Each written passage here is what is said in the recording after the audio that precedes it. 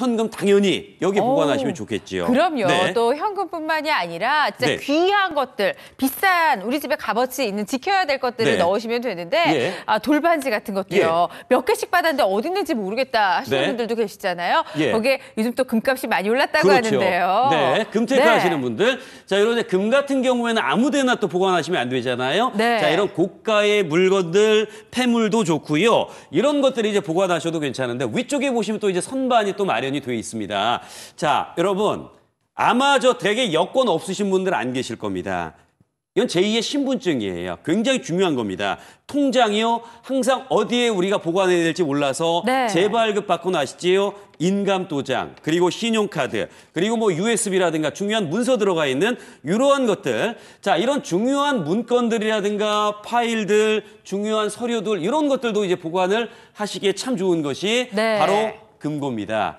아무데나 두셔서 나중에 잃어버리시고 아 그때 후회하지 말고요. 네. 이런 이제 중요한 것들, 고가의 물건들을 여러분 보관을 하시면 되는데 자 그러면 이렇게 이제 중요하고 뭐 값비싼 물건들만 보관을 하시는 게 아니라 네. 실제로 또 이제 소중한 추억들이 담겨 있는 우리 집의 재산들도 많이 있거든요. 그럼요. 이제 남편한테 네. 선물로 받았던 이런 귀금속 같은 것도 좋고요. 폐물로 받았던 것도 사실 이제 딱 한 번밖에 내가 받을 수 없는 것들이잖아요. 네. 이런 것들 딱 넣어 보시면 좋으실 것 같고요. 결혼 반지도 정말 잘 끼지 않기 때문에 어디 있는지 모르는 경우도 있습니다. 근데 네. 이런데 한 곳에 딱 모아두시면 좋으실 것 같고요. 네. 우리 아이가 태어났을 때 어, 폐물이 아, 그 탯줄이라든가 네. 그리고 초음파 사진은 세상에 하나밖에 없잖아요. 없지요. 다시 찍을 수도 없어요. 그러니까요. 네. 그러니까 그러면서 아기 수첩이라든가 꼭 잃어버리기 쉬운 거 어디 있는지 몰라서 이사 갈 때마다 찾아야 됐던 거 네. 이런 것들 다 넣어주시면 좋으실 거예요. 그렇습니다. 자, 네. 여러분 우리 집에 있는 음. 정말 나중에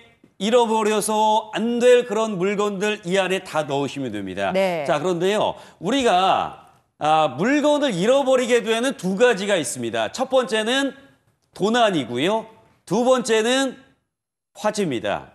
그리고 이제 한 가지가 더 있긴 해요. 내 머릿속에 지우개라고 해서 건망증.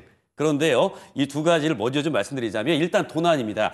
아, 요거 무게 자체가 40리터 기준으로 해서 60kg 정도가 되기 때문에 네. 이어서 들기도 어렵습니다. 그리고 누군가가 와서 우리 집 집을 비워두었을 때 와서 이것을 철커덕 어, 오 손을 대니까요. 네. 여러분 자 요게요.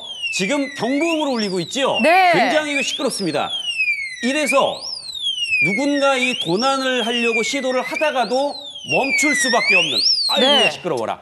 요렇게 이제 락장치를 풀어주셔야 돼요. 맞습니다. 예. 네, 이래서 방도 장치까지 정말 믿을 네. 수 있게끔 만들어 예. 드렸습니다. 그렇습니다. 자, 네. 그리고 두 번째는 말씀드렸죠. 첫 번째는 도난 때문에 잃어버리게 되고요. 네. 두 번째는 바로 화재입니다. 맞습니다. 어, 불이 났습니다. 그러면 어떻게 해야 됩니까? 네. 저희 집 지금 세 살짜리 꼬마 아이도 알아요. 네. 불 나면 어떻게 해야 돼?